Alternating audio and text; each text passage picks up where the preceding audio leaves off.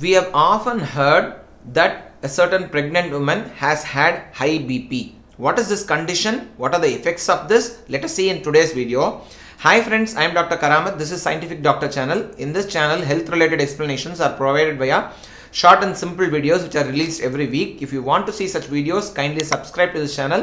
Also press the bell icon to get instant notifications whenever new content is released in this channel. Today's video is about pregnancy induced hypertension or preeclampsia.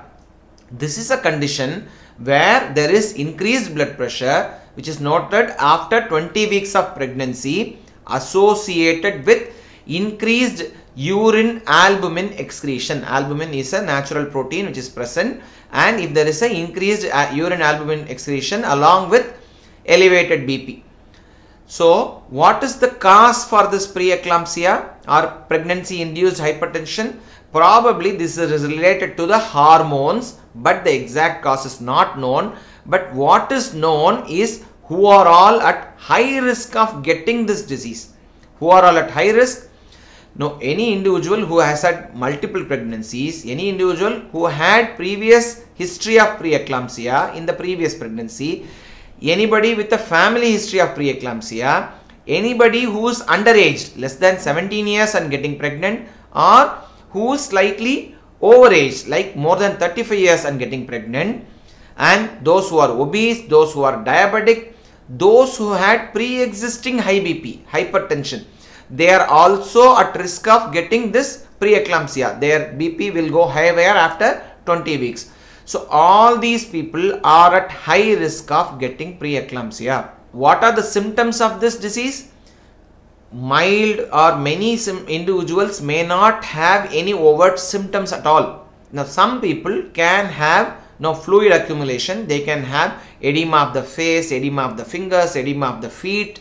No, they may have the tightening of their finger rings. So these symptoms can be there. Many people may not have symptoms. This is usually picked up during routine examination of pregnant women. That is why routine and regular follow-up of pregnant women is a must. If there are complications no, developing to the mother because of preeclampsia, there can be problems related to every organ system in the body.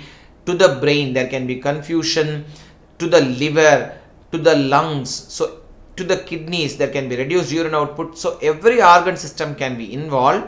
And especially there is a syndrome called HELLP H-E-L-L-P associated with this preeclampsia where there is hemolysis. There is destruction of red blood cells elevated liver enzymes indicating a damage to the liver and low platelets causing spontaneous bleeding resulting in skin bleeds and rashes. So all these symptoms can be present and if left untreated this can result in even in stroke or death more commonly in seizures. This condition where preeclampsia leads to seizures is called eclampsia which can happen during delivery before that is during conception or even after delivery. So this is a dangerous disease. How do you diagnose? No during routine follow up your BP is measured. If it is high, it is repeated. If two measurements are high, your urine is checked for albumin excretion and if your albumin is also high, a diagnosis is made. There are other criteria, there are other factors which also need to be assessed. So your doctor will be able to make a diagnosis of preeclampsia. How is it treated? Obviously, most of the times initial diagnosis of preeclampsia, you may need to get hospitalized.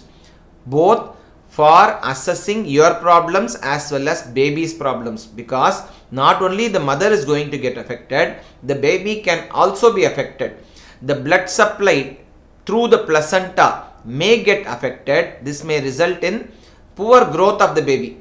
Okay the baby size is going to be small. No it is not only the general growth even the brain growth may be affected may lead to permanent neurological damage in the unborn child. So once the child is born, the child may have permanent neurological sequelae. And even if the child is born, it can result in preterm birth or other complications to the baby. So all these can result to the baby also. So once you are hospitalized, your complications as well as baby's growth and complications are assessed.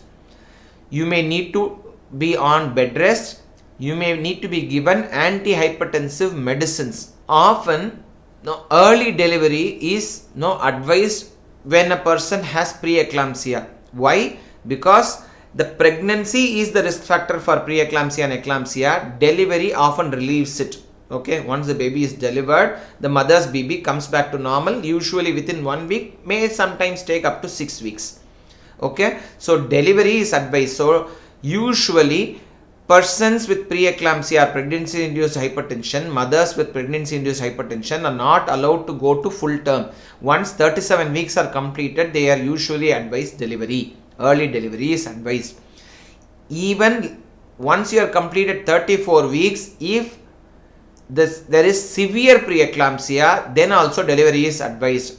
But if the fetus, if the unborn child is compromised, if neurological problem is going to happen, even before that, even preterm delivery can be attempted. And if the mother has obviously eclampsia or HELLP syndrome or other complications, then also delivery may be attempted to save the mother. So, early delivery is often a part of treatment for preeclampsia. So whenever a doctor no advises early delivery on account of preeclampsia, this has to be followed because this will result in no safety to both the mother as well as to the unborn child.